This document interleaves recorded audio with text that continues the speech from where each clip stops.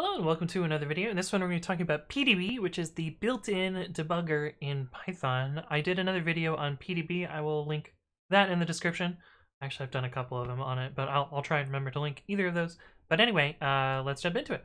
Okay, so out of the box, PDB does not support tab completion. So, if, you know, we did import OS, and then we did, you know, our, our breakpoint here. Break a point.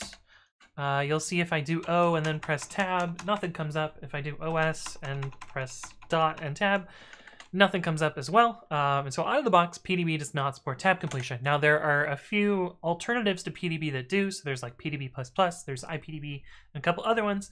Um, but I don't really like to have to install things in order to just get basic functionality like tab completion. Uh, fortunately, PDB provides a uh, plugin point called the PDB-RC file and I will show you what my PDB-RC looks like. Workspace Scratch PDB-RC, um, which just contains these two lines here. Import RL complete, completer and then import PDB and it uh, modifies, it monkey patches the PDB class to add a completer on here. And if I take this PDB-RC and I copy that uh, workspace scratch PDB-RC into my home directory, and so now I have a file at pdbrc, and you'll see it contains that same contents as, as above. And now PDB magically supports tab completion. So if we do import OS now, and then again do breakpoint, uh, if I type O and then tab, you'll see that it tab completes and knows that OS is a thing.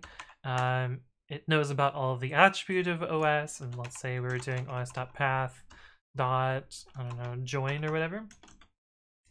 Um, but yeah, then um, then PDB supports tab complete just out of the box, so you don't need anything special to do that. Uh, but anyway, I find this is a, a, little tweak that can go kind of a long way in making PDB a lot easier to use. But anyway, hopefully this was helpful. If there are additional things you want me to explain, leave a comment below or reach out to me on the various platforms. But thank you all for watching, and I will see you in the next one.